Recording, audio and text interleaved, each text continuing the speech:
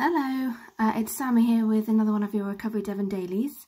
Um, today is more of a question for you guys. Um, we were wondering um, what you thought of our dailies, what you were finding helpful, um, what kind of um, themes would you like for more of them, um, who would you like to hear from, any ideas for more videos, we would greatly be happy to to work with some more people and to create some more content for our dailies. Um, we've kind of adapted our way of working at the moment so that we are more online. So we so as well as the safe space online with our Recovery Devon dailies, we have our uh, positive news blog, um, which I upload every now and again when when some good news comes through.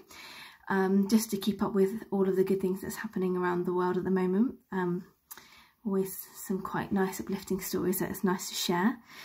Um, we're also uh, doing our development fund a bit differently this year, so funding some more online resources, so more of those will be trickling through amongst our dailies.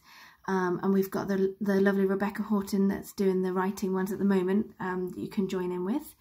Um, but the, the big question is, what do you guys feel that you need to see more of, or what can we do to help support people in this time a bit more?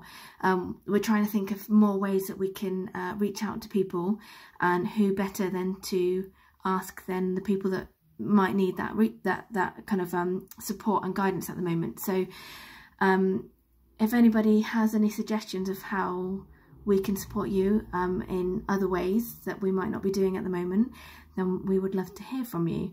Um, so it can be anything really, it doesn't have to be online stuff, just anything that would really be beneficial for you at the moment that we might be able to do uh, with our Recovery Devon team. Now we don't have an unlimited amount of resources, we don't have a, a massive team as, as nice as that would be, but um, it would be nice to know of other ways that we can help at the moment, um, just because we are trying to think of other ways to be supportive uh, to the mental health community. Um, and again, like I said, who better to us than the mental health community themselves?